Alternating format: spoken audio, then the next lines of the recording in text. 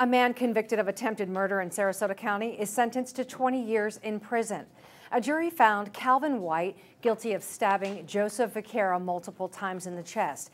It happened in the 5600 block of Grenada Drive on September 13th last year. The Herald Tribune reports White became angry at the victim in an apartment before stabbing the man eight times in the chest and the abdomen. Thursday, Circuit Judge Charles Roberts sentenced White to 20 years in prison.